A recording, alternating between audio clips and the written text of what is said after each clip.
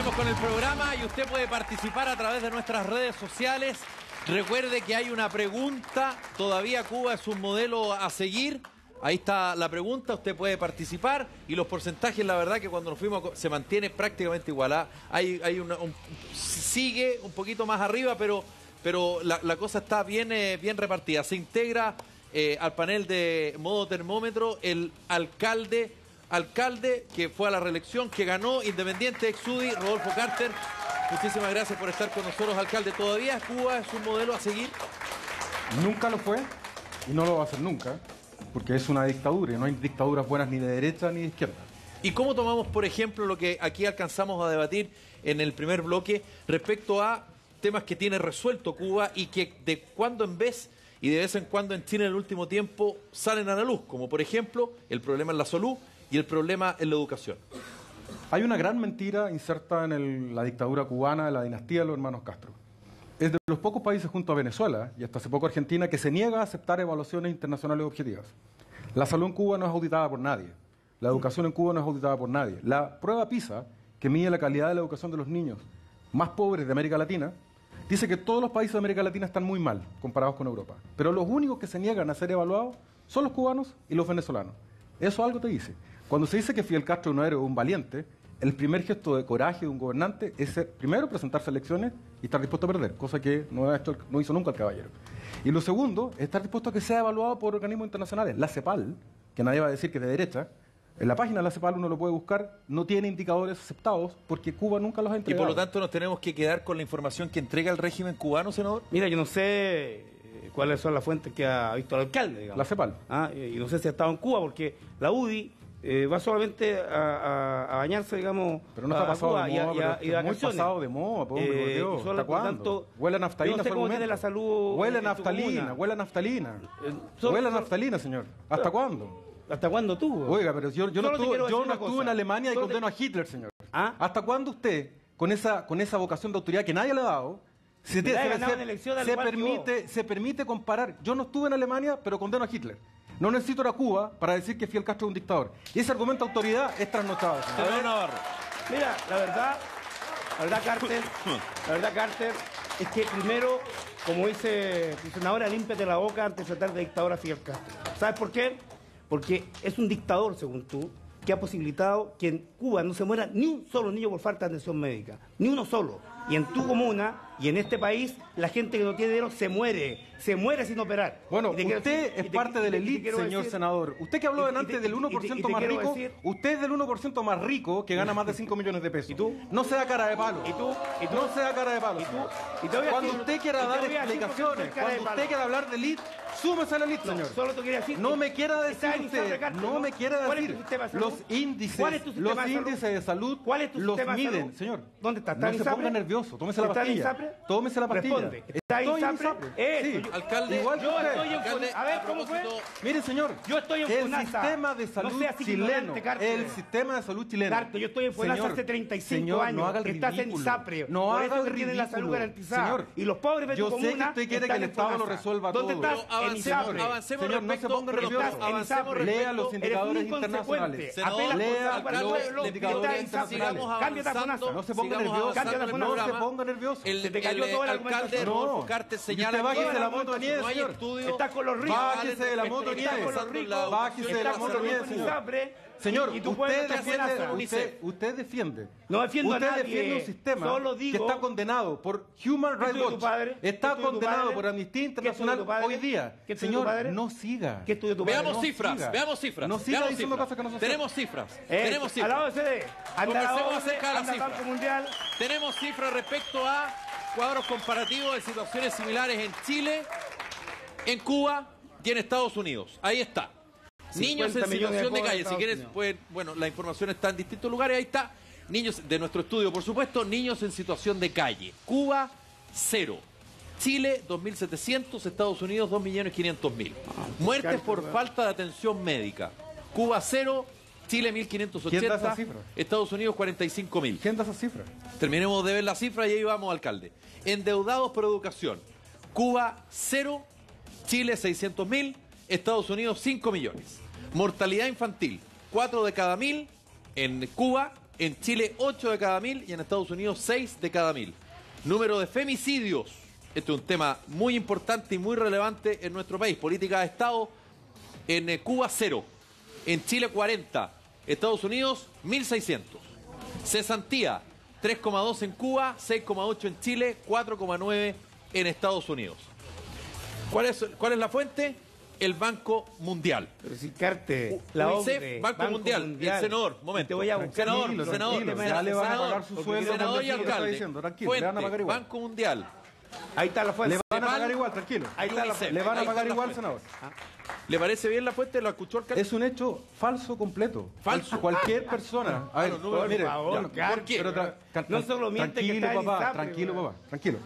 Lo que le quiero, lo que le quiero decir es lo siguiente: el mayor fracaso, Ya. el mayor fracaso de la dictadura cubana es que después de 60 años de dictadura, los cruceros llenos de gordos americanos, llenos de cerveza, buscando prostitución en Cuba, entraron hace menos de un año.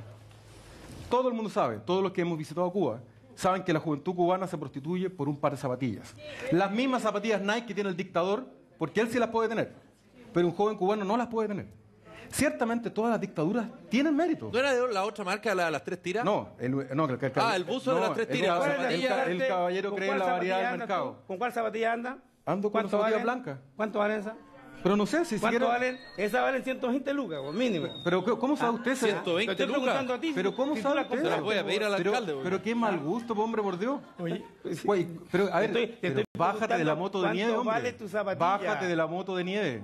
Bájate, Bájate de la moto bájate nieve. la ISAPRE y no, y no engaña a la gente. mira. Bueno, Andrés Pascal Allende que quiere-. Andrés Dila- Pascal dila- Allende- atenderte a un consultorio de tu comuna. las cosas Anda a como aten- son. atenderte a un consultorio No, de tu pero comuna. tranquilo, hombre, por, Por Dios. favor. Tranquilo. Alcalde, anda senador, senador, alcalde. Tranquilo. Andrés Pascal Allende. Tranquilo. Oiga, por favor, yo, hablo fuerte, ¿ah? Y hablo harto como Fidel, que en paz descanse. Andrés Pascal Allende quiere decir algo. Bueno, lo primero que yo quiero decir es que, hablando de la juventud, la juventud cubana tiene educación gratis. Todos, es universal. Es si has estado en Cuba, lo tienes que haber visto. La juventud cubana tuvo salud desde niño, no como miles de niños chilenos. La juventud cubana no tiene discriminación. Yo eh, la semana pasada hice un recorrido por la zona de Cautín y Mayeco y hice, entrevisté a muchos campesinos chilenos y campesinos mapuche y vi la discriminación que existe del Estado chileno contra el campesino mapuche. ¿Y qué pasa Y con la discriminación política en Cuba, Andrés Pascal Allende? Yo creo que Con la- las personas que no piensan como, el- como, como intenta o como impone en rigor el régimen cubano. Bueno, al respecto yo creo que es una realidad que tiene que verse históricamente, porque el bloqueo no fue solo el bloqueo, el bloqueo fue invasión, fueron sabotaje, fueron más de 600 atentados contra Fidel, fue un asedio, una guerra contra un pueblo que defendía su independencia. ¿Reinaldo Arena le esa- suena- le suena en- Reinaldo Arena? ¿Por qué no? Yo te ¿Le respeté suena cu- Reinaldo Arena? Alcalde, Oye, yo respeté cuando tú hablas. Por favor, respétame cuando yo hablo. Si eres un alcalde, tienes que tener esa forma correcta de, de, de- de conversar. Eh, yo no quiero atacarte, digamos, en absoluto. Yo vine aquí a hablar de Cuba y a hablar de Fidel Bien. Castro, de la imagen de Fidel Castro. Y de eso es lo que quiero hablar, no que de otras cosas. Eh, lo que yo no podemos olvidar es de que durante esos 50 años eh, Cuba ha sufrido un bloqueo y además una agresión constante, una guerra constante. Eso sin duda limita la posibilidad de abrir o limitó la posibilidad de abrir a una oposición interna que estuvo activamente comprometida. Y por lo tanto, con los acuerdos con. Estados Unidos, eso debiera, Yo creo que debiera eso es lo- terminar. Eso es lo que quiero decir. O- o- absolutamente. Yo creo que en la medida que Estados Unidos Terminó el bloqueo. termine el bloqueo, digamos, establezca una relación normal entre Estados, respetando la independencia de Cuba, a mí no me cabe duda que el proceso va a ir gradualmente teniendo una apertura política. Hermógenes, ¿tú crees que efectivamente a contar del año 2018 van a haber elecciones libres en Cuba? Puede que haya, porque ya no van a estar No, los no. hermanos Castro, que han sido los que han encabezado la dictadura estos 60 años. Entonces, yo creo que el desenlace de Cuba va a ser parecido al de Alemania Oriental. Yo creo que la- el 25% de cubanos que viven en el extranjero, que son gente próspera, que amaban la libertad, que fue despojada de todo y se exilió, va a volver a Cuba eh, físicamente y con sus capitales y va a consagrar en Cuba o impulsar una democracia que va a elegir un gobierno del estilo occidental y Cuba va a ser un país Un progresista. muy buen conocido, podría decir incluso, ojalá un amigo, alemán, dice algo que es súper cierto, que la Alemania actual, la Alemania de Merkel, de Angela Merkel, integra políticas sociales de la Alemania democrática, de la Alemania comunista. Por lo tanto, tampoco podríamos demonizar lo que significan ciertas políticas sociales que desarrolló, por ejemplo, el régimen de Castro. Bueno, si hay una política buena, no importa quién la haya desarrollado, se adopta. Y eso es propio de las sociedades libres donde la gente elige. ¿Y cuál podría ser buena a, a su juicio? Bueno, yo creo que una política educacional que le dé al mayor número posible de gente acceso a todos los niveles de educación. En Chile sería perfectamente posible porque con lo que gasta el Ministerio de Educación cada año, todos los niños chilenos podrían libremente sus familias elegir la institución a la cual fueran, el mejor colegio particular y las mejores universidades, pero se gasta en burocracia. Así que eso es posible. Volviendo, sería a, una buena volviendo política. a Cuba y apuntando a algo que dice Hermógenes, yo creo que el gran potencial de Cuba, en el caso que se abra, digamos, el comercio con Estados Unidos y termine el bloqueo, es justamente una población muy instruida, muy formada. Son, digamos, es una, una varias generaciones que estudiaron eh, ciencias, que estudiaron medicina, que estudiaron una cantidad de promoción. Cuba, a pesar del bloqueo, tuvo un desarrollo científico, ha tenido un desarrollo científico de la mayor importancia. Y eso yo creo que ese potencial, que ya no son las riquezas básicas de vender el cobre en bruto, etcétera, sino que utilizar digamos, el de ser la, la capacidad cultural, la capacidad for- formada de un pueblo, eh, eh, para agregar un valor ¿Puedo a los a procesos productivos, sí, claro, permitir, yo creo que permitiría, esa es la riqueza que Cuba puede potenciar, que, que la- que potencia Cuba si normaliza sus relaciones comerciales. O sea, le falta libertad para manifestar todas sus capacidades. Eso es lo que necesita. No, no, no. Yo creo que lo que falta es que termine la prepotencia, el bloqueo, y ojalá que el estado el y ojalá que el señor le Trump- permitan a la gente elegir. Trump, Vamos a seguir conversando aquí con nuestros panelistas, pero se integra, mientras le recuerdo la pregunta, por supuesto, para que participe con nosotros a través de nuestras redes sociales. Todavía Cuba es un modelo a seguir y ahí está la votación, muy, muy pareja durante todo el programa. Se integra, como decíamos, Tadeo eh, Villanueva, nuestro panelista. Tadeo, ¿cómo estás? Muy buenas noches.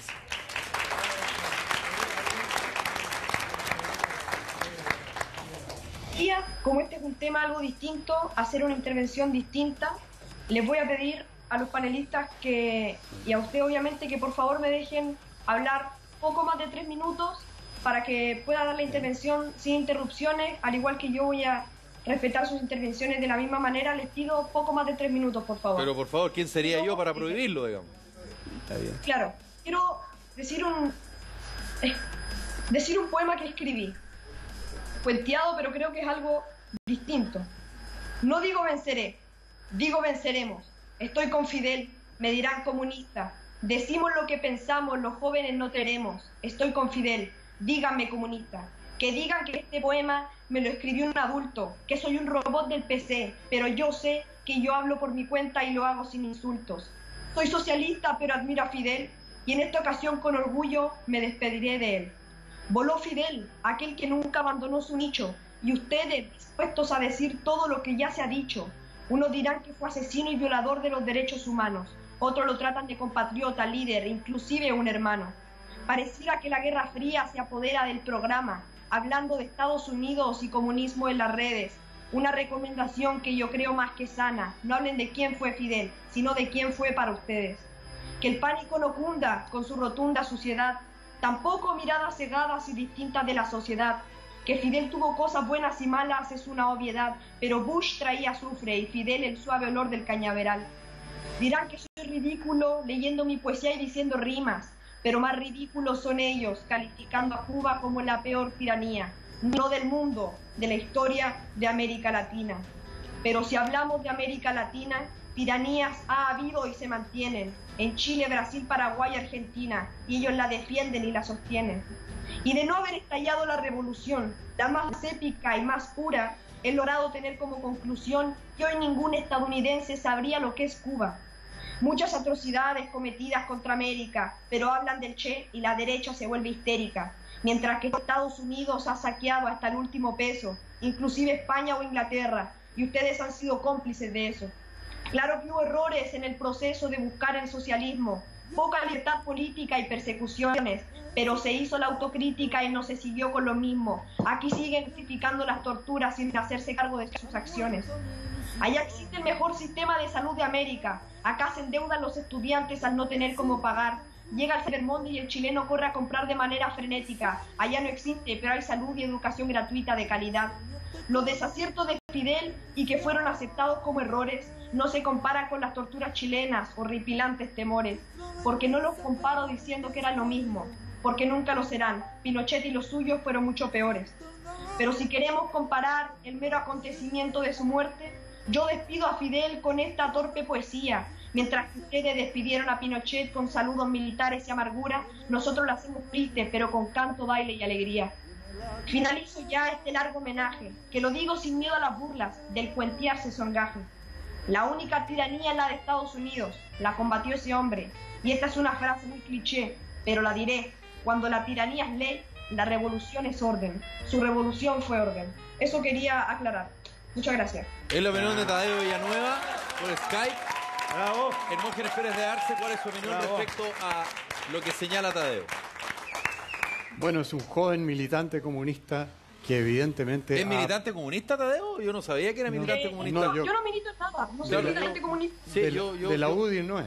No, Eso no, pero seguro. comunista tampoco. Yo hasta, No, Tadeo, tú no. no. eres militante de ningún partido o, o estoy golpeado. Yo. No, Oye, yo- ese, le- yo ese lenguaje en Revolución solo... Democrática, Revolución estuve Democrática. unas pocas semanas participando en el movimiento autonomista, pero en estos momentos no milito en nada. Ya. Pero la revolución democrática está a la izquierda del comunismo. Bueno, pero O sea, está bien, pero es- cada uno, es digamos. un extremista de izquierda. ese Bueno, un extremista está allá. excelente deducción, deducción obviamente está a la izquierda. Es peligroso, Tadeo, dice. Ya. dice ¿Y, y- y- y qué significaría eso, digamos, para las nuevas generaciones? Porque en una de esas puede decir, ah, de Revolución Democrática y, digamos. Eso significa que tu líder debería ser Andrés Pascal, un hombre que siempre fue partidario de tomarse el poder por las armas, o sea, matando a los que no estaban de acuerdo con él para tomarse el poder, quedarse 50 años, 60 años y hasta morirse en y, el usted, poder. y usted defendió también un régimen que a través de las armas se hizo el poder. No, fue llamado por Bueno, los políticos democráticos para evitar que se tomaran el poder por las armas, que es muy distinto. Pero la usaron igual. La usaron Bueno, ¿y de qué manera Y se mataron- combate un mataron- 20.000 extremistas y armados mataron si no es con las armas? Bueno, por eso- por eso los 20.000, políticos 30.000, dice, porque- 20.000. Por 20.000. eso los políticos democráticos llamaron a los militares, porque no ten- yo, yo los llamé entre ellos. Yo no tenía armas, teníamos que llamar a los que las tenían para evitar que se tomaran el poder por las Y era la única manera, a, a su juicio, señor Pérez de Arce, ya Allende, con la perspectiva del tiempo, la única manera de poder solucionar un problema A político juicio de los a través de partidos. la Cámara de Diputados, llamar a, los militares a, a, tomarse el poder. a juicio de los partidos demócrata cristiano, nacional, democracia radical, izquierda radical, era la única manera. Según ustedes, digo. Bueno, éramos la mayoría en la Cámara de Diputados. Y la historia, y, y con la perspectiva de la historia, ¿usted siente que era la única alternativa o habían otras vías? No, pero si en ese momento personajes de la magnitud de Eduardo Frei Montalva y Patricio Elwin aplaudían a los militares por lo que habían hecho. No, no, pero yo le estoy preguntando a usted, no le estoy preguntando por, bueno, por Eduardo obviamente, Frei yo, Montalva yo fui ni por- uno de los que contribuyó a redactar el acuerdo de la Cámara que llamó a los militares. ¿Y usted haría lo mismo? Si ¿Repetiría la misma Obviamente, acción? si, si el MIR de Andrés Pascal se va a tomar el poder por las armas, ¿a quién voy a recurrir? Yo voy a salir a, a dispararle a él cuando él dispara mejor que yo. Mira, yo no, era me a permite, la me Armada. que sido- Andrés Pascal Allende, que fue Eh, nombrado en o- esta conversación. Yo quiero decir francamente, ojalá hubiéramos tenido las 20.000 armas o las que tú supones, que es una mentira. absoluta. No, pero si la Porque contabilidad la déjame, hizo Carlos Altamirano. Mira, Hermógenes, yo te escuché, tú me respetas a mí y me escuchas. Ya. Han pasado muchos años, pero... Mira, ojalá hubiéramos tenido 20.000 armas para haber organizado al pueblo y generar una capacidad de autodefensa de los procesos de la reforma agraria, de los procesos de reforma universitaria, de los procesos que se dieron de cambio en toda la economía y en la sociedad. Ojalá hubiéramos tenido esas armas para defender ese proceso. El plan Z es una mentira. Tu acusación de las armas no es fundada en nada. Pero las de La- Carrizal no. ¿Ah? Eso es otro tema, pero déjame terminar lo que estoy diciendo. Por tanto, eh, tu argumentación es absolutamente inválida. Yo quiero decir de que lo que nosotros vivimos en Chile, con Alwin y con otros empujando el golpe, fue porque cerraron el paso al plebiscito que el presidente Allende quería convocar. Se adelantaron en el golpe para evitar una consulta democrática popular. Y el traidor Pinochet, más altos oficiales que desplazaron los oficiales constitucionalistas y democráticos de las Fuerzas Armadas, detuvieron más de 300 suboficiales y marineros y los torturaron de la Armada. Y la misma represión la desarrollaron internamente en las otras ramas de las Fuerzas ¿Y Armadas. qué de decimos de los oficiales de la- Eh, de la- del pero- ejército pero- revolucionario de Fidel Castro que estuvo aquí durante la Unidad Popular, Andrés Pascal? Eh, bueno, sí, yo venía acompañando a su, eh, digamos, a su, a, a su presidente. ¿Por qué no iba a tener, digamos, su Pero todo lo que significó, todo lo que significó esa, esa participación paramilitar que hubo durante la Unidad Popular. ¿Sabes qué? Eh, Mira, es- eso yo- es mentira. Es No hubo- mentira. nunca hubo una escuela militar Nunca, con oficiales cubanos aquí. El único oficial cubano, José Carrasco, decíamos, Rivero, perdón. Antonio de la Guardia. El único fue, fue- no, Antonio de la Guardia estaba a cargo de las El tropas único cubanas José en Chile. Rivero, no habían tropas cubanas. Había un oficial cubano No, pues eso que lo han dicho libros aseguró cubanos. la seguridad de Allende. Eso no es real. Había personal dentro de la, de la embajada que indudablemente algunos tenían instrucciones militares, entonces que- etcétera, y Felipe. se defendieron cuando Felipe. con el golpe fueron agredidos por el ejército Felipe. chileno rompiendo la inmunidad diplomática. Voy con el alcalde Felipe, Rosocarte y no, después lo- con el lo senador que- Navarro. vale, lo vale, que- una cosa Entonces, Hermógenes, por tanto, perdone, dejó lo decirla, que porque- don Hermógenes Pérez de Arce cuenta es un cuento que ni él se lo cree. digamos. Hay que en decir- realidad hay que- es hay- hay- tremenda hay que- hay que decir dos cosas. Felipe, respecto del panelista. Lo ha contado 30 Sí, de. Tadeo, de Respecto Tadeo de Villanueva. Tadeo, qué suerte tiene Tadeo, Tadeo en esta democracia tan imperfecta de tener tres minutos en un canal de televisión libre de poder decir lo que ha dicho. Yo quisiera que un niño en Cuba o un niño cubano pudiera decir algo o un disidente pudiera tener tres minutos en 60 años. Nunca Pero lo- tiene la gracia de poder hacerlo en televisión Me, y por lo tanto... me parece bien. Pero ¿qué le parece a usted lo que dice Tadeo Villanueva? Hasta en el error, en la democracia se respeta. Él está equivocado, pero tiene... ¿Cuáles, tiene- cuáles son los errores de él? Fun- Fundamentalmente porque una dictadura fundada en el odio. El comunismo es una, es una ciencia fundada en el odio. Así como, así como los nazis consideraban que había una raza superior y era imposible convencerlos que somos todos iguales, a un comunista nunca vamos a hacerle entender de que no hay razas superiores, no hay luchas de buenos y malos, de ricos y pobres. No ha resultado en ninguna parte. Si no resultó en Alemania, difícilmente va a resultar en Cuba. Pero lo que te quiero decir respecto a lo que se ha dicho recién, se lo quiero decir mirándolo a la cara, señor Pascal Allende. Con sus canas, después de 40 años de haber terminado la guerra en Chile, o al menos el proceso más crítico, yo encuentro lamentable que usted diga qué pena que no hayan tenido las armas. Porque la dictadura de Pinochet, yo le llamo dictadura porque creo que fue una dictadura, fue una dictadura que no nació de la nada. Ustedes quieren construir una historia donde los militares chilenos se volvieron locos un día y les dio por matar gente en forma sangrienta. O sea, no, usted no fue perdón, así. Entonces, No usted- mataron, no perdón, fue- no ¿Usted mataron. está en desacuerdo entonces con la actitud que tomó Hermógenes Pérez de Arce en la Cámara de Diputados Respecto 73? de la destitución de Salvador Allende, ¿Te puedo hacer una pregunta? Yo respeté su tiempo. Sí, pero voy, me- voy- me- voy de me- inmediato, voy de inmediato. estás acusando Eh, una cosa. Si, si me puede ¿Qué- contestar esa pregunta, alcalde, y caso- voy con usted. ¿Qué chileno, alcalde, por favor. Oye, ¿qué chilenos nosotros matamos? Pero antes de eso, ¿cuál es la, la respuesta a la, a la pregunta? Matamos, digamos, Felipe, 20.000 Felipe, trabajadores, Felipe. campesinos, Pascal, vuelvo- chilenos, vuelvo inmediato, pero los por reprimimos. Felipe. Por ¿Cuándo hemos torturado ¿Quién mató a alguien? tranquilo, tranquilo, déjeme alcalde. Conteste esas, preguntas. Fe- Felipe. Voy, de inmediato, voy de inmediato. yo le que quiero decir, señor Pascal Allende, no me tome usted a mí la lección de democracia ni de derechos humanos. Usted reprobó ese ramo. Pero antes Usted de eso, todavía no le pero contesta por alcalde, los antes de eso, de ¿me podría contestar la pregunta que le hice? Usted si hubiese estado en la Cámara de Diputados, al igual que Hermógenes Pérez de Arce, en 1973, ¿usted hubiese firmado ese documento y habría llamado a las Fuerzas Armadas? Hubiese, hubiese declarado inconstitucional al gobierno de Salvador Allende porque lo era. Había adolecido inconstitucional al no respetar la sentencia de los tribunales de justicia. No habría llamado a las Fuerzas Armadas porque no me correspondía como parlamentario si lo hubiese sido. Pero si la consecuencia de la inconstitucionalidad de un gobierno que no respetaba la sentencia de los tribunales, que le, le restaba fuerza pública a la ley, claramente la consecuencia era el quiebre del Estado de Derecho. Lo que yo quiero sostener, y no tengo por qué hacerme cargo, no voy a caer en la trampa de la generación de los caballeros de aquí al frente, de hacernos cargo de algo que yo tengo re claro. Las violaciones de los derechos humanos en Chile, en China y en Cuba no se explican ni se justifican, se condenan. Y respecto de lo que ocurrió específicamente en Chile, señor Pascal Allende, fíjese que usted tuvo la suerte de irse a Cuba. pero los cementerios están llenos de tumbas, de gente que todavía busca sus deudos por su locura revolucionaria. La forma Bueno, que el eso- presidente eso- Allende, ese- eso- la, la- la forma que... Déjeme terminar, déjeme terminar. Yo me quedé El bajo la presidente Salvador Allende... en la clandestinidad El en presidente Chile. Salvador Allende... Yo me quedé el en la presidente dictadura. Salvador Allende. Hay evidencias. En el minuto que el Partido Socialista le va a ofrecer su lealtad el día 11 de septiembre, le dice, hagan lo que quieran.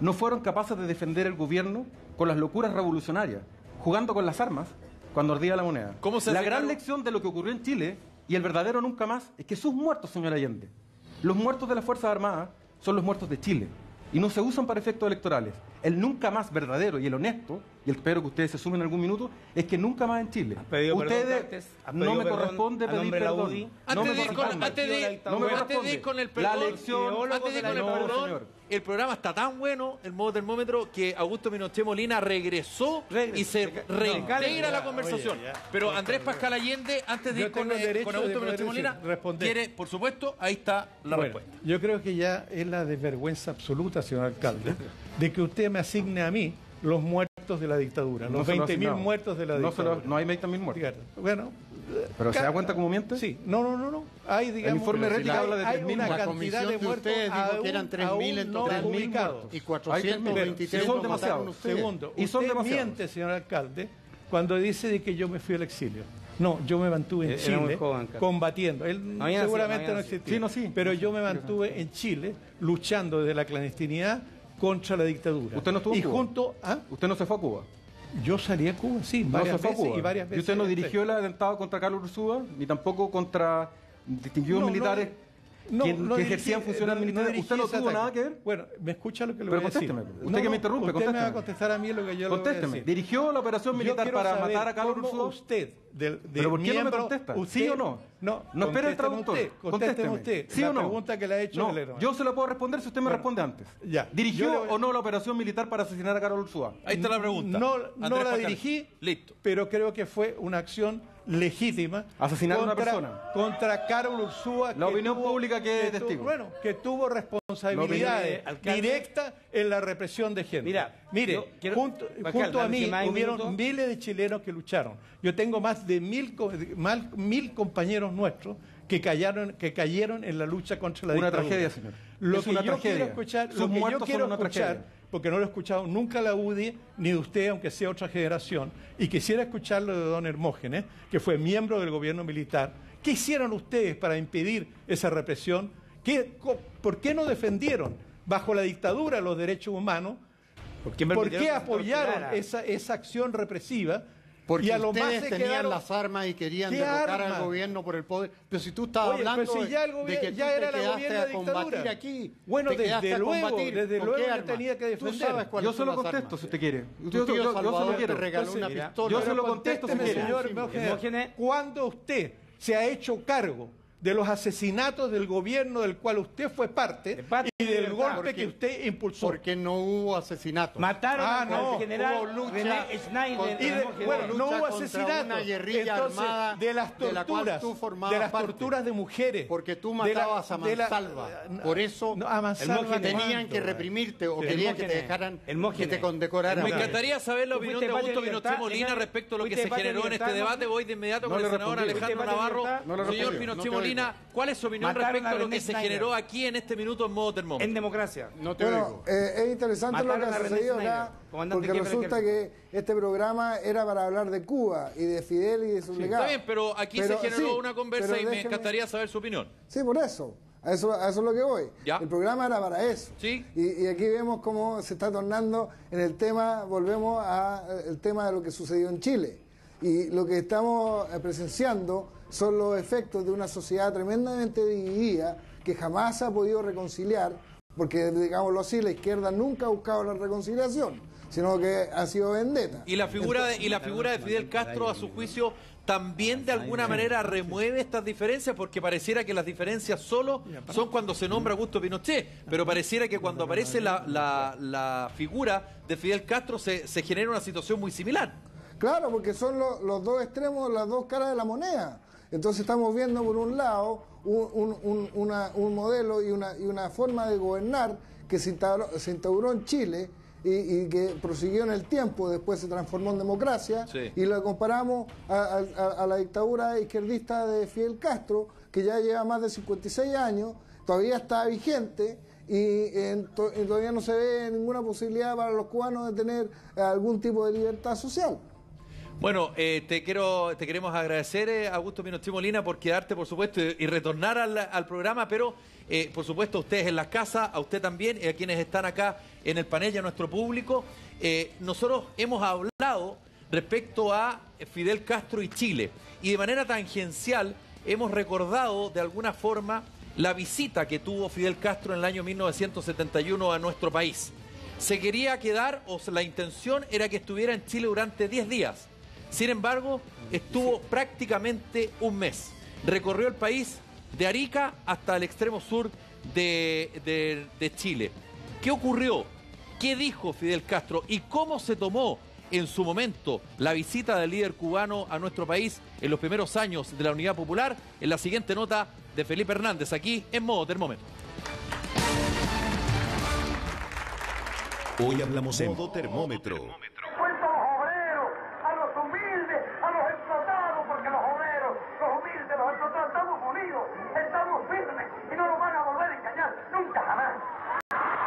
Fue un líder amado y odiado a la vez.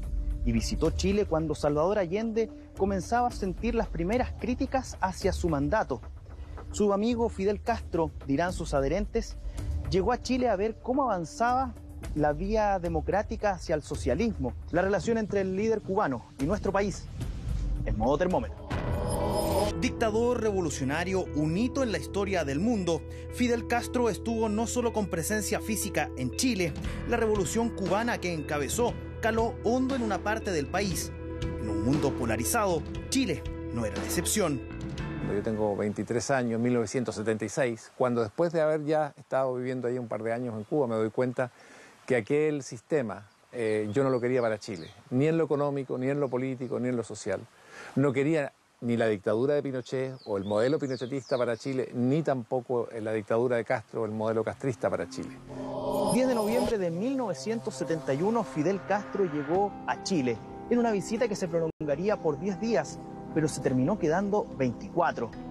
Una estadía que no estuvo exenta de polémicas. La oposición, con fotos, lo acusaba de todo.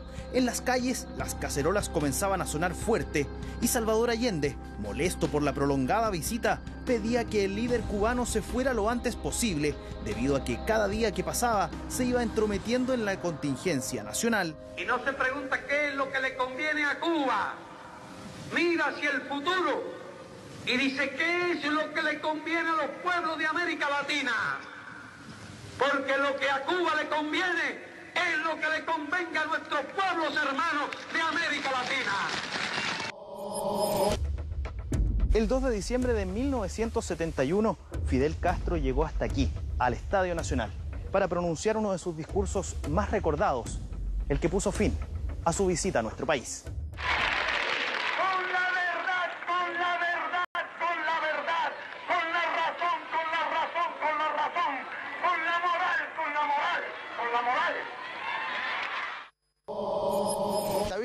Visita de una semana está bien, pero tres semanas, un mes, y con discursos que hacían efervescentes, que tenían otro estilo que el de Allende. Acá nosotros teníamos un líder y esto era otra forma de mirar las cosas. Y como desde Estados Unidos, Nixon, lo que argumentaban es que Chile era la segunda Cuba y con eso pretendieron siempre oponerse a Allende y oponerse a la unidad popular.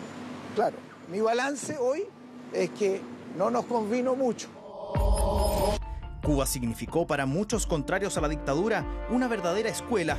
El entrenamiento militar que les entregó la milicia de la isla originó que al regreso de los guerrilleros chilenos, clandestinos por cierto, se agruparan y formaran uno de los movimientos más violentos que la dictadura tuvo que enfrentar.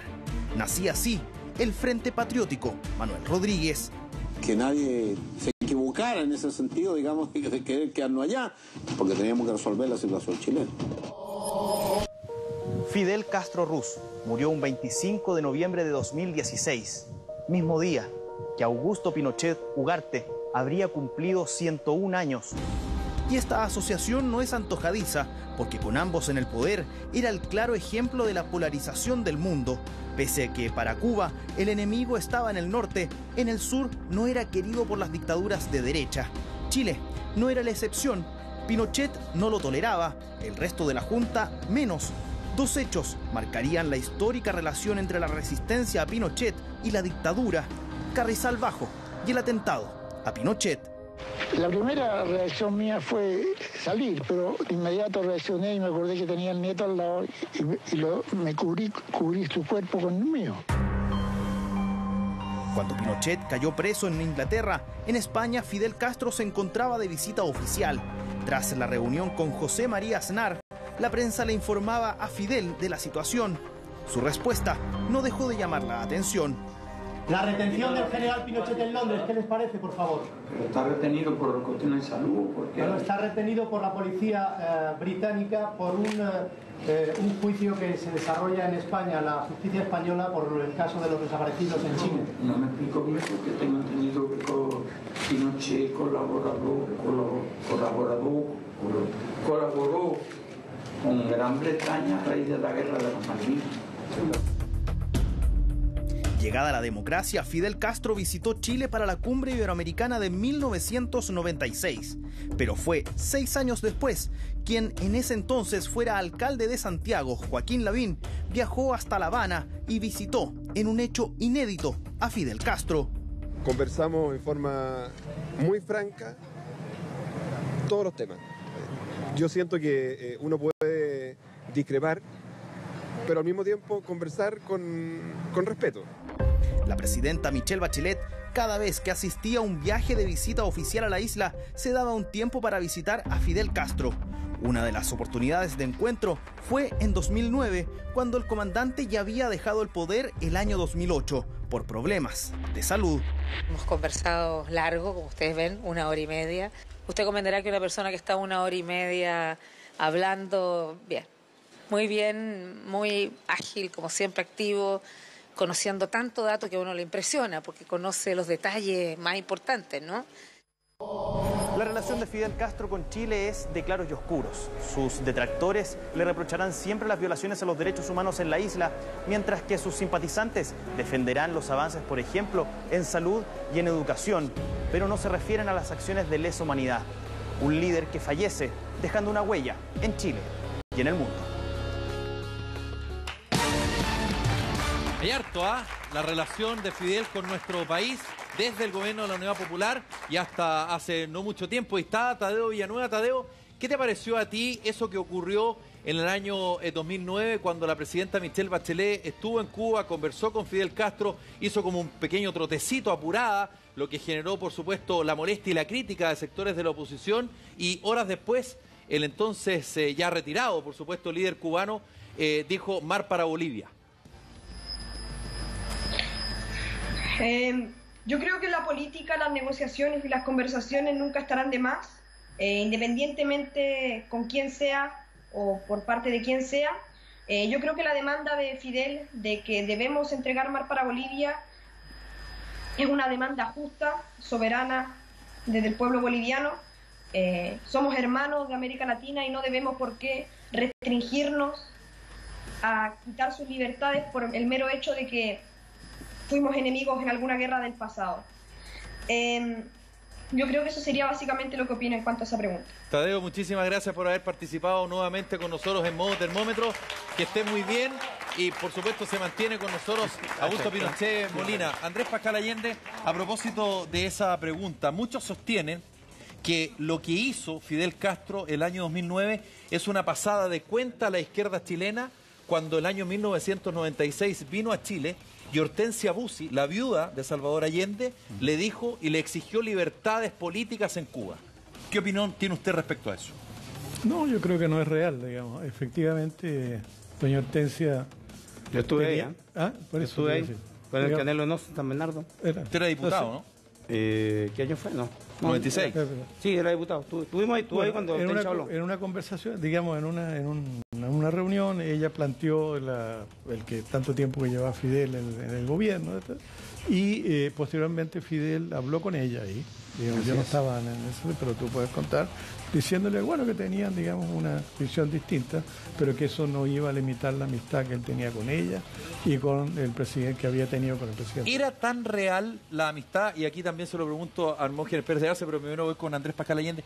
¿Era tan real la amistad de Fidel Castro con el presidente Salvador Allende? No, absoluta. Yo creo que hay que recordar de que cuando triunfa la Revolución Cubana, eh, el primer dirigente de izquierda popular chileno, fue, que fue Salvador Allende, visitó a Cuba a prestar su apoyo y su solidaridad a la revolución cubana. Desde entonces surge una amistad. Indudablemente, en muchos aspectos de la política, de la forma de avanzar en un proceso de transformaciones hacia el socialismo, tenían visiones distintas. Allende tenía una visión más institucional, digamos, tenía una, él tenía una confianza en que era posible llevar a cabo esas transformaciones socialistas dentro del marco de la democracia eh, liberal que existía. Se hablaba del reformista versus el revolucionario. El revolucionario. Está con nosotros Augusto Pinochet Molina. No me interrumpa. Ah, déjame perdón. terminar mi Perdón, creí que había terminado. Creí que había terminado. No, Está bien, no, está bien, está bien, está bien. No me interrumpa. No, Yo pero no es interrupción, es para conversar, Desde luego, digamos, eh, Fidel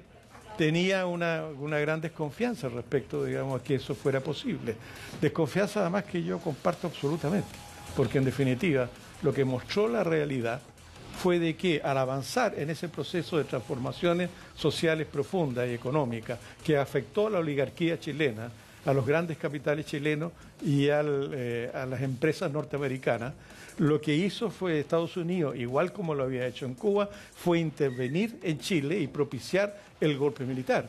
Aquí los militares no eran tan patriotas. Los militares fueron traidores a la institucionalidad y al gobierno del presidente Allende que se debían. Los militares eh, estuvieron financiados por Estados Unidos. Eh, Los datos no son de los dios, ¿cómo se los da la CIA. eso? de que el financiamiento de la intervención este Pero fue... ¿cómo habla sin filtro? O sea, que es una cosa insólita. eh, ¿me permites? A Cuba la financió la Unión Soviética durante 30 años. No, no, estamos hablando de la intervención militar. Estamos hablando La del ciencia golpe ficción que suya fue tiene- no- no financiado tiene por. Estados Unidos. Mira, yo quiero invitar al alcalde. Tenemos un Twitter antes de ir con el la senador Navarro. Nacional. Hashtag modo termómetro. Pinochet se vendió a Estados Unidos y la CIA. Y con eso vendió al país. Fidel echó a esos asesinos y no se dejó pisar. Eh, Dice U, pero era I. Año, Senador Navarro. año 2000. El Senado de los Estados Unidos, habiendo la CIA liberado y desclasificado los informes de la intervención de la CIA durante el gobierno de Salvador Allende, van al Senado de Estados Unidos, se arma una comisión especial y el Senado remite esos informes. No es Hollywood, no es ciencia ficción, no es novela, son los archivos desclasificados de la CIA enviados por el Senado de los Estados Unidos. Allí están. Yo te recomendaría que fuera a la biblioteca, Bueno, como yo he ido ¿qué muchas decían? veces, ¿Qué a leerlos, porque claramente Ya, la intervención de los Estados Unidos, el financiamiento a periódicos, a periodistas, a políticos, a partidos, a las Fuerzas Armadas. Y te quiero decir una cosa, la intervención no, conven- no comenzó el 70 con el triunfo de Allende, comenzó mucho antes. Comenzó en el asesinato del general No, la Snyder, comenzó con el Comenzó asesinato con del comandante. Araya, comenzó con los atentados a los oleoductos, Comenzó mucho antes. Esta- mira, es que no has leído nada, Carter. Tienes No, que leer un poco. el mismo te informe que invito usted dice. y te invito a ir a Felipe, leer los- podemos- los esto- esto no puede ser de un monólogo, y decirte, No, no, si no es monólogo, decirte conversa. esto no a es invento mío. Están los archivos clasificados y está la muerte que manchó al ejército de Chile, el asesinato del general René Schneider. Hay una por pregunta para que Libertad, usted Y mi pregunta para Hermógenes, que Pero- no pero- la posibilidad de pero- hacérsela. pero, Si Felipe, tú eres de Patria y Libertad, pero, Felipe, ¿hasta ¿estuviste cuándo? el asesinato de, de René Schneider? No, yo no te- en ese antes de ir no con eso, opina en hashtag modo termómetro. La pregunta es, ¿todavía Cuba es un modelo a seguir? Ahí están las opiniones muy parejas. El alcalde Carter quiere decir... Yo la verdad, Volvamos a Cuba, volvamos a Cuba. yo la verdad que al senador Navarro, aparte de andar pendiente de mis zapatillas, que no, que no son un tema relevante, Tú tocaste yo le, quiero, Fidel. yo le quiero decir, señor Navarro, que yo no uso internet para el copy-paste. Yo leo todo y no, no hago una disti- distinción claro que no odiosa. No, no, no. Mire, para que usted sepa, la CIA intervino en la elección de Salvador Allende del año 64. Financió la campaña de Eduardo Frei. Y el KGB también. Eso todo el mundo lo sabe. Y también hubo dinero soviético financiando la campaña de Salvador Allende. Chile fue parte, fue parte del escenario global de la Guerra Fría. A como lo hacía hace poco tiempo, cuando tenían plata para el petróleo, la dinastía Maduro-Chávez, que financiaba los partidos de izquierda en Chile. Siempre ha habido intervención de dinero extranjero en nuestro país. Lo único que yo quiero decir, Felipe, y no quiero dejarlo pasar, porque he esperado todo este rato para poder contestarle, usted que me pedía disculpas. No le voy a pedir disculpas porque no tengo nada que pedir disculpas. Lo que sí le quiero transmitir, señor Pascal Allende y a usted, senador de la República, honorable senador, la gran lección de todos estos años de dolor de guerra es que no hay muertos ni buenos ni malos. Las viudas lloran igual por un militar asesinado, por el mil, como una mujer que busca un detenido desaparecido en el norte de Chile. No tengo que pedir disculpas respecto a Pinochet porque siempre he tenido una opinión bastante clara al respecto. Pero lo único que les quiero decir, yo estoy harto de la doble moral de la izquierda chilena, que usa como red bank los derechos humanos cada vez que se le cargan los argumentos. Fidel Castro, ¿es un dictador? Sí. 60 años en un gobierno sin elecciones en cualquier parte del mundo es una dictadura. El año pasado, señor Pascal Allende, Human Rights Watch, que no es una entidad de derecha, usted que le cree a Estados Unidos cuando le conviene, senador Navarro, supongo que ha estado alguna vez en Estados Unidos, Human Rights Watch dirigido por un chileno, dice que el año pasado hubo más de 10.000 detenciones arbitrarias en la isla. Simplemente la visita anterior del Papa detuvieron a 10.000 cubanos porque no querían molestias para el discurso oficial del dictador. Cuando ustedes hagan el crossover, crucen la barrera y estén dispuestos a reconocer los derechos humanos de todas las personas, y especialmente el adversario, habremos avanzado un poco más en la historia de horror que yo no dudo que usted vivió por sus personas detenidas desaparecidas. Pero no hay muertos ni buenos ni malos, Así como no hay dictadores buenos. Los dictadores tienen que ser erradicados en Alemania, en Chile y por suerte también en Cuba. Eh, el, el, alcalde Rodolfo Carter hace un emplazamiento directo al senador Alejandro Navarro y al sociólogo y ex secretario general del MIR, Andrés Pascal Allende. Pero también, sin decirlo, le hace un emplazamiento a usted, señor Pérez de Arce, respecto al reconocimiento de las víctimas. ¿Qué, qué, qué tiene que decirle a él? Bueno, le digo que tiene que estudiar más. No ha estudiado suficiente. Él tiene que saber del armamentismo de la Unidad Popular.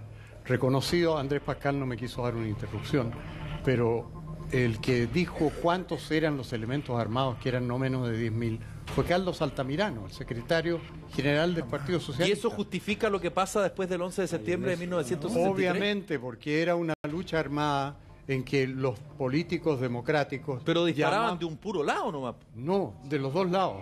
Y por eso que en, los primeros tres meses después del 11 de septiembre se murió el 60% de las personas caídas en la lucha en Chile. 1.500 muertos por los militares y 300 por la extrema izquierda, por los compañeros. La reducción. Está eh, Augusto Pinochet Molina también, eh, por supuesto. Recordemos que él conversó con nosotros, se fue, pero volvió porque la conversa estaba estaba muy entretenida. Yo me pregunto, y de la ignorancia absoluta, ¿en algún momento en la familia se conversaba respecto a la avenida de Fidel Castro, al tema de las armas, lo que pasó durante el desembarco en Carrizal Bajo, que finalmente terminó eh, utilizándose gran parte de esas armas en la denominada Operación Siglo XX, que fue el atentado al general Pinochet en septiembre del año 1986? ¿Se conversaba esto en la familia?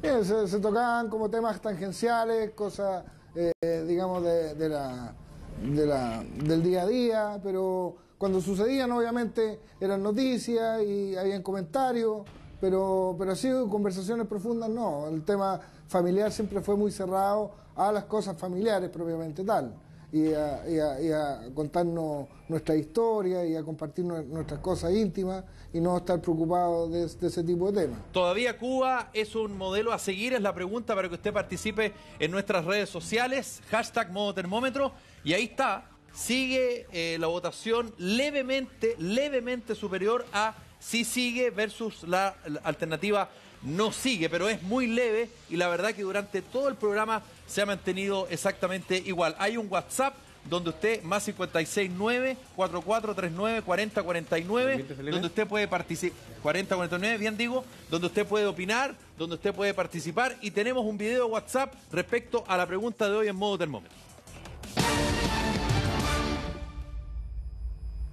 Revisamos tu opinión por video WhatsApp. Es obvio que de un principio él fue un revolucionario, pero a pasar del tiempo le gustó el poder. Pasa a ser un dictador. Fue un revolucionario que nos deja como legado el haber alcanzado el socialismo como una expresión plena y perfectible de la democracia en Cuba. Revolucionario. Es ser un revolucionario para tu país, para tu patria, tienes que querer cambios profundos. Y los cambios profundos no, no se hacen con un lápiz y un papel. El debate continúa. En comerciales ingresa al fanpage de Modo Termómetro. Próximo jueves en el Cubo. La verdad de una crisis a bordo. Sentía que yo me iba a morir, que el avión se iba a caer. Nicole Moreno, la niña que se convirtió en madre. Y ahí ya tenía como cuatro o cinco meses. ¿Quieres ser animada? La gente que cree que Luli es tonta y que no era un personaje más tonto de ellos. El cubo, secretos entre cuatro paredes.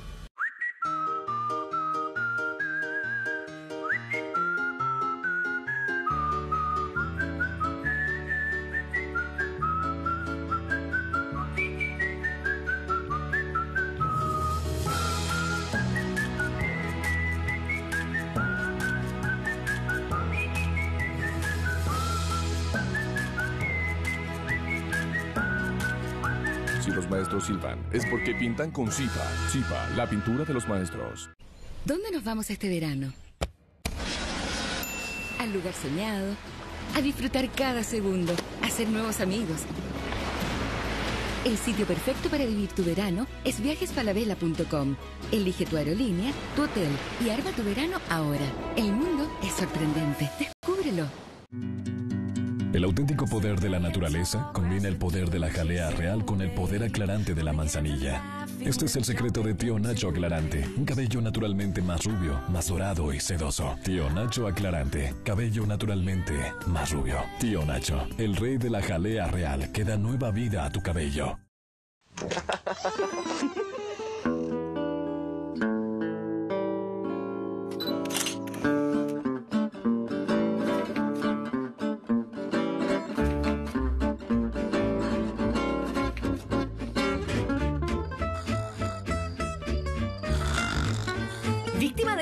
ronquidos?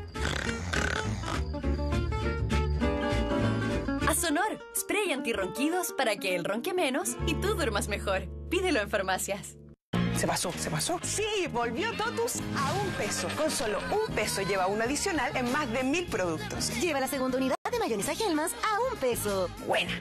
Desafío Pregúntale a tus piernas. Ellas ya comprobaron la promesa de Goicoechea y decidieron cambiar su crema actual. No puedo creer la diferencia. Me relajó apenas me la puse. Siento esta pierna mucho más liviana. La siento deshinchada. Sientes una frescura que te alivia muchísimo. Y además me humecta por mucho tiempo.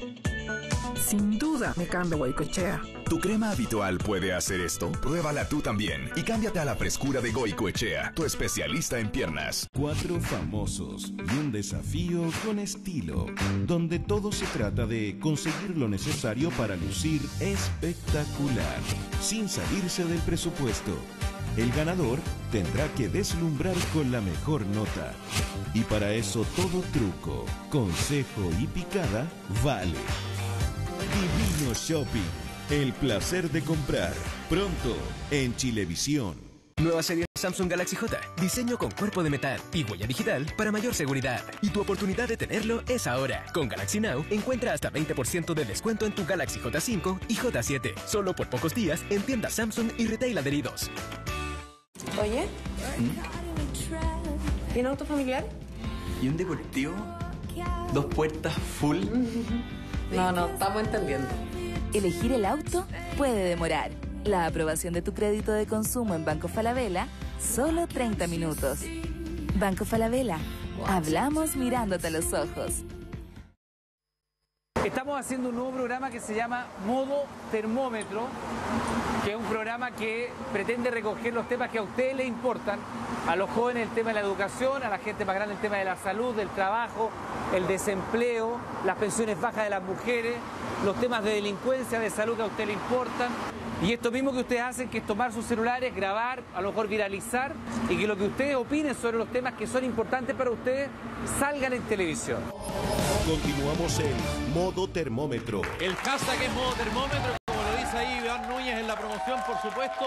Usted puede opinar a través de nuestras redes sociales. Todavía es Cuba un modelo a seguir. Si sigue un 51, 52, no sigue un 46, 47. Aquí en la conversa, en los comerciales, aquí había un diálogo bien interesante entre Hermógenes Pérez de Arce y Rodolfo Carter respecto a que si la gente mayoritariamente eh, considera que Cuba es un modelo a seguir, hay un problema. Me encantaría que lo desarrollaran un poco más.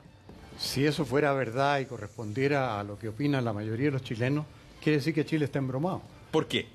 Porque quieren establecer una nueva Cuba en, Chi- en- en- nuestro país. La mayoría, según lo que dice ahí la encuesta. Ahora las encuestas se equivocan. Cuba es Cuba, Pero si yo, perdón, pero antes de ir con el senador Navarro, pero si yo fuera un poquito más puntual en la pregunta respecto a el modelo, por ejemplo, y vuelvo a, a- a lo que dije al principio del programa, respecto al tema de la educación de calidad y el tema de la salud. ¿Por qué no? No, pero es que ahí dice en general. Todavía Cuba es un modelo a seguir. Por eso, pero si yo Cuba es puntualizo una la pregunta. integridad. Si yo puntualizo la Sí, pregunta. tú puedes educar a la gente de determinada manera y si no dejas a la gente opinar, bueno, quiere decir que la gente no quiere que en Chile haya libertad de opinión. Eso es lo que quiere decir. Senador Mira, Navarro, ¿usted está de acuerdo? Mira, tú me dices modelo a seguir en salud, absolutamente. Fue la BIN a ver el modelo de salud para la comuna de Santiago. Y quiero decirte que en Cuba se le enseña a los médicos a mantener a la gente sana. En Chile se le enseña a sanar a los enfermos, porque sanar cuesta plata, hay que poner enfermo, hay que operar. En Cuba el énfasis está en que la gente no se enferme. Y cuando una comunidad y un equipo médico mantiene a la población sana, es un equipo bien evaluado. No es bien evaluado el equipo que logra resolver las enfermedades, es mucho mejor evaluado ¿Y qué hacemos, el que con, la- la y- y población qué hacemos sana. con las libertades individuales, con las violaciones de derechos humanos, Levanten el bloqueo, Navarro? Felipe, levanten el bloqueo. Mira, Estados Unidos se ha equivocado. O sea, se termina el 50 bloqueo, años. o sea, Va se termina haber- el bloqueo y no hay va- más violaciones de derechos humanos. No, va a haber. Mira, yo no, no, mira, no hay ni un torturado que me mencione un solo. Lo que hay, generales fus- fusilados por narcotráfico, porque se encargó el gobierno de Cuba en eliminar completamente toda posibilidad de senador, narcotráfico. en Cuba Te no hay quiero juicios decir- políticos. Te quiero decir una cosa. No existen los juicios políticos. Te Se quiero- acaba. Te quiero decir tema. una cosa. Claramente, eh, mira, Human había detenido. Solo quiero decir, no conozco ni un torturado, no he visto ni un informe donde me digan que Cuba ha asesinado y tiene a gente enterrada o lanzada al mar. Lo que yo digo, que la figura de Fidel, mira, que la juzgue la humanidad, y como dijo, el año 53, absorba después el- del asalto al cuartel Moncada, cuando se defendió como abogado frente a un tribunal de Batista, dijo, condenadme, no importa, la historia me absolverá. Y tengo una certeza, la historia va a absolver a Fidel Castro. Pero va a ser 17.000 el líder indiscutido del siglo XX para América Latina. Tuvo 17.000 muertos. ¿Dónde? En Cuba.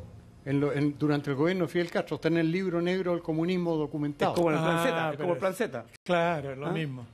Pero no tenía una base real. Hermógenes, a tu edad yo sería más serio. Tuviste toda, El toda la época de comunismo en general tuvo ¿Ah? 100 millones de muertos. ¿Quién? 17.000 fueron en Cuba. Sí. ¿Sabes lo que pasa? No la frase, eh, la, no la frase del senador Navarro ¿Y recuerda. la, frase del de senador Navarro recuerda. tiene, eh, perdón, tiene el pero- Estados Unidos en Irak. No, pero vamos. Antes de ir con vamos- eso, vamos con el Vamos, Rodolfo Carter. vamos, Vamos con Rodolfo La frase del señor Navarro recuerda a otro ídolo del- de nuestros compañeros aquí presentes, Stalin. Se decía, un muerto es una tragedia, diez muertos son un problema, millones son solo números. Los muertos no son números. Los muertos en Cuba fueron miles y las detenciones son miles. Y aquí marco el punto, eh, Hermógenes, no me manda a estudiar historia. Al menos yo no quiero estudiar la historia de ustedes que relativizan los muertos. Francamente en, en- francamente, en Chile, lo que esta generación de chilenos le tiene que prometer a nuestros nietos es que no van a haber más desaparecidos, ni van a haber más expropiaciones arbitrarias como hubo en Chile, ni tampoco que cuando yo tenga su edad, señor, tenga la tupé de decirle a todo el país que mala suerte no haber tenido las armas para haber matado chilenos. No, Andrés señor. Pascal Allende. Bueno, es, es propio, es propio de es propio de la UDI ¿ah? y del alcalde tergiversar lo que uno dice. Es lo que usted acaba de decir, Yo, no, no- yo te escuché, escúchame ahora. Es propio de usted tergiversar la realidad. Yo no dije haber tenido las armas para matar. Yo dije haber Que tenido lo repitan, las- que lo repitan. que haber tenido las armas para defender el gobierno popular y el proceso de transformación democrática, que es distinto. ¿Cuál No sería es la mismo. diferencia? ¿Que- La ¿Para qué le iban a usar diferencia- las armas? ¿Ah? ¿Para qué iban a usar las armas? Para evitar No, justamente... pero no, le iban a usar el para- gatillo, supongo, ¿no? No, no, no. sí, No, pero cuénteme, no, pues, me indica diga que usted me está dando simpleza, no diga simpleza. I- iban a usar el gatillo, La realidad que tú estás tratando de evadir No, pues. es que aquí hubo un golpe militar en que mataron miles de personas No le y tú no estás No asumiendo le. Eso esa es- responsabilidad. Es usted el que evade. Quiero volver Es al usted el que tema. evade. ¿Para qué quieren las armas, señor? ¿Quién es lo que iba a repartir Para- flores con los fusiles? Quiero No, volver al tema. Lo que yo creo es lo siguiente, y hablemos sobre ese tema de las armas. Perfecto, Seriamente. encantado, Seriamente. cuénteme, El problema en este país es que entonces, y ahora, sobre todo ahora, hay unas fuerzas armadas que están al servicio de los, de los grandes capitales, unas Fuerzas Armadas formadas en el anticomunismo, unas Fuerzas Armadas que son un gueto que tiene privilegios en las pensiones, en todos los aspectos de la vida. Están formados, hechos, para reprimir al pueblo cuando el pueblo quiere cambiar la realidad social. ¿Usted no se arrepiente de nada, señor? Todavía ¿No se arrepiente de nada, Cuba es un modelo No, a seguir. no se arrepiente Usted de nada. opina a través de modo Señor, termómetro. sí, yo me arrepiento. y a ¿Usted no se propósito arrepiente? de la situación de De Cuba, los muertos quisiera que que nuestros panelistas me escucharan. usted tiene muertos de. ¿Cómo va a ser el de mundo? ¿Cómo va a ser el mundo? con ideas ¿Cómo va a ser el mundo? con hechos. Señor, No, no, señor, no cambie eh, los hechos. Pascal A mí lo que me Allende, sorprende alcalde de- alcalde ¿Cómo va a ser el mundo? Senador, senador. y se- y se hace como si fuera Senador, un senador, senador, independiente. senador, senador. Una ¿Cómo va a ser el mundo en el partido sin Fidel. Castro No en Cuba? No, Es ¿Cómo usted, va a es ser el usted. mundo sin no Fidel Castro en. Cuba y con Donald Trump en Estados Unidos? Hermógenes Pérez de Arce. Habla como No piensa sea que ¿Qué va a pasar? Sin Fidel Castro y con Donald Trump como presidente de Estados Unidos. No, yo creo que se ha iniciado un proceso de apertura en Cuba que Estados Unidos ha mirado bien y que Donald Trump no lo va a interrumpir, en el sentido de que haya mayor libertad de movimiento, de entrada al país, de negocios en el país y que por lo tanto, lo dije antes, yo creo que el destino de Cuba va a ser parecido al de Alemania Oriental. El, el exilio cubano va a conducir la recuperación de Cuba para la democracia y la libertad. Senador Navarro. Mira, nada en absoluto va a cambiar en Cuba por la muerte de Fidel. Fidel diseñó a Cuba cuando no estuviera Fidel. Y lo que va a cambiar a Cuba es el, levantamiento del brutal, criminal bloqueo económico. Ese es el punto de inflexión para que las cosas pudieran comenzar a cambiar en Cuba para una nueva institucionalidad. Cuba va a seguir siendo digna, soberana, libre y, por cierto, líder en América Latina en salud y en educación, que yo ya quisiera para Chile. ¿Cuáles son las opiniones a través de nuestro WhatsApp? Ponga mucha atención en video, por supuesto. Aquí están, aquí en modo termómetro. Revisamos tu opinión por video WhatsApp.